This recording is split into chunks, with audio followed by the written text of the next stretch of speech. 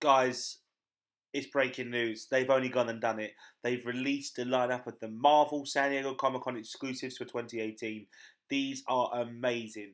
I mean, strap on your seatbelts and get ready for this. I am very excited, and my wallet is feeling the burn already.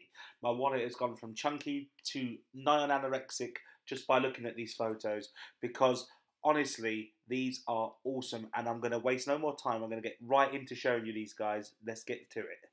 Right, guys, first up is this new Thor from the Ragnarok film. This is where he actually manages to use his powers without his hammer for the first time with the Mjolnir. And I love those effects with the chains and the um, lightning round his hands, not chains, sorry, the lightning all round his hands. That looks fantastic, and the really big um, blue bright eyes. That looks really cool. It's a really nice addition to Thor and something that we. It's a bit. It's a bit lazy with the new with the Thor, but you know this is my least favorite one of the wave, but it's looking pretty cool and something I'm definitely looking into picking up because for such an epic character. Then, guys, we are getting this Ant Man pop. This is like an original costume Ant Man, which is really, really cool. With the Ant Man film hitting the cinemas in the next month or so, this is a really nice addition. We're getting the new Ant Man wave coming, and this is just the original Ant Man. Looks cool. I love that helmet. Just looks fantastic. I love the original Ant Man costume design, the colours of the blue and the red. This just really looks well in pop form and fantastic San Diego Comic Con exclusive. One at the top of my list. This is one at the top.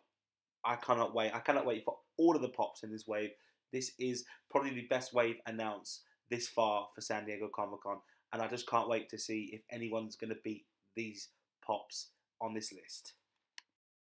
Then, guys, we have here the cheerleader Deadpool. This is looking really cool with the pink attire on there, his cheerleading outfit. This is one of many of the different variants of the Deadpool that are available and coming out. I think we've got like a Burger King version, a KFC version. I know we've got. I think it's a. It's been a pirate Deadpool previously. There's been tons of Deadpools, and this is another one here.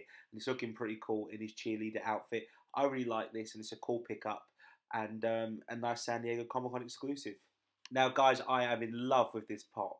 We are getting the original Iron Man pop the first ever costume that Tony Stark builds in that cave when he's trapped by the terrorists in the film and obviously in the comic books. But this is amazing. This looks so good.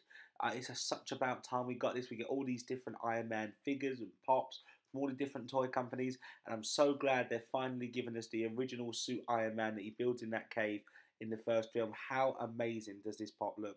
This I have to have in my collection any Iron Man fan would want this pop and any Marvel fan.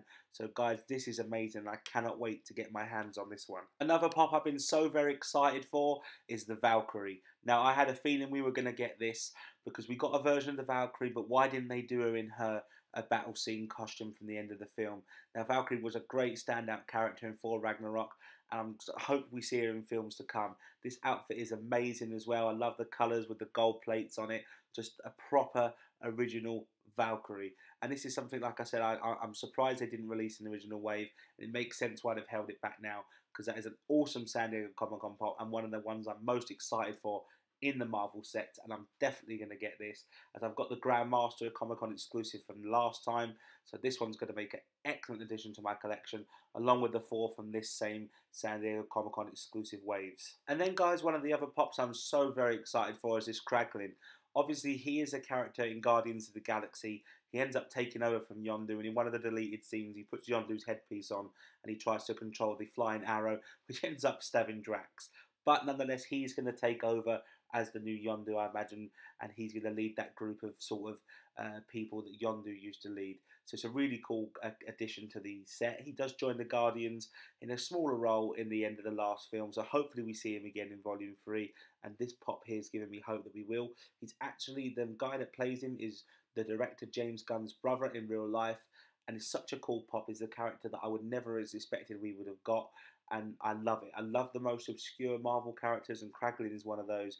He's a character in the film, but he's not one that everyone would know. So I'm glad they brought it out in a um, exclusive to help it sell because otherwise it would probably have just shelf warmed.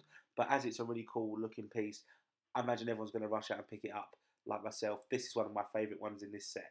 Then, guys, my personal favourite one technically Marvel, technically director, but this is Taika Waititi. This is the man that directed Thor Ragnarok. This is the genius behind that hilarious film, and he and he also provides us the voice for everyone's favourite Ragnarok character, Korg. Now, if that doesn't deserve you to be in a pop, I don't know what does. He's a great, great, great director. He's hilarious. Like I said, he made that film what it was. He looks awesome in his pop form, and I love that pineapple suit he's wearing. That just looks excellent. He is from Hawaii as well, so the pineapples as well. That really just looks cool in that shorts and shirt pink combination. He's such a great director. We got another director from the DC universe in the pop form, so I'm really glad we've got uh, Taika Waititi, and it opens up the door for more director uh, pops in the future. But this is my favourite Marvel pop.